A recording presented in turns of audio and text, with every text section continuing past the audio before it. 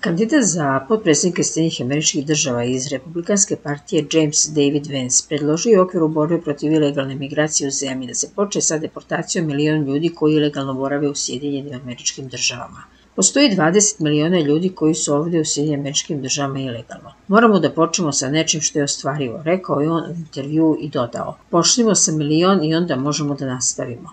Vance je u početku kritikovao politiku koju je vodio Trump, ali je potom počeo da deli njegovu ideologiju. Tokom aktualne izborne kampanje je postao jedan od glavnih poverenika bivšeg predsjednika, često ga je pratio na sastancima sa pristalicama i sponzorima i pomagao u prikupljanju sredstava za predsjedničku kampanju. Američki republikanski predsjednički kandidat Donald Trump je više puta obećavao ako pobedi na predsjedničkim izborima da će pokrenuti najveću kampanju deportacije u istoriji Sjedinjenih američkih država. Migracijona kriza postala jedna od ključnih pitanja aktualne predizborne kampanje u Sjedinjenim državama. Republikanci zapravo krive demokrate za njegovu oštru eskalaciju. Predsjednički izbori održat će se 5. novembra. Prenosi portal.